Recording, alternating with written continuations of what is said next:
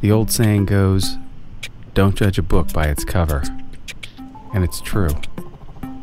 Don't look at that person who ends up next to you and say, that person is way too different from me. I could not invite him to my church. I can't have my friends see me bringing this guy in. We need to see others as Christ sees them, with a holy compassion for the lost. You know what? We all need God, no matter what the person looks like, or how different they are from you. As Christians, we are responsible to reach out to those around us. Their eternity depends on it. We need to stop worrying about the opinions of others. We need to open our eyes.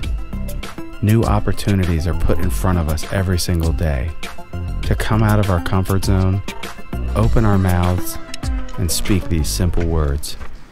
Hey man, if you're not doing anything this weekend, uh, check this out. We're doing something cool at our church. So